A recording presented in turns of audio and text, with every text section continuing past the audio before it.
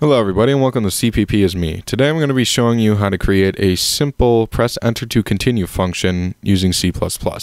As you can already see, I'm having my compiler character out press enter to continue. Now, in order to create the rest of the function, we need to go standard character in dot get with open and close parentheses. Now we just build our function. And we run it. Now it displays press enter to continue, and once I press enter, the program ends. Character in get waits for user input in order for the program to move forward, such as press enter to continue menus on the console. However, if you have user input before character in get, for example, if you have integer num and then you have the console character out, enter an integer, and then you have the user enter said integer, the compiler will skip right over the function, like so.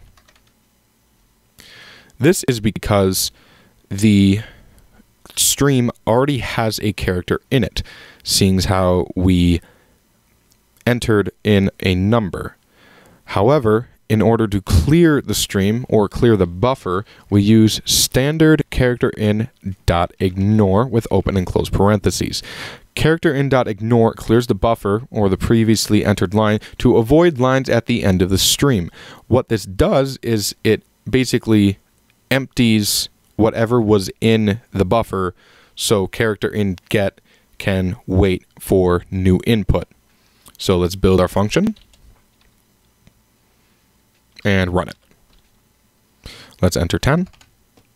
And now, as you can see, it does the character in get because character in ignore emptied the buffer.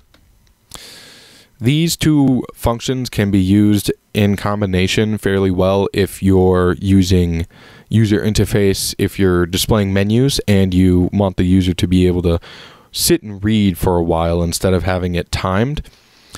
Also, these are fantastic functions to use instead of calling system functions because if you call system functions, that means that it's using that specific OS. C++ is compatible with Mac OS, Linux, and Windows. If you're using a system function, it will only be compatible with Windows. Character in get and character in ignore work fantastically if you're thinking that your program is going to be used on more than one platform. This platform I'm talking about is Windows. So basically, use cin ignore to clear the buffer and cin get to wait for user input. Thanks for watching, and I'll see you in the next video.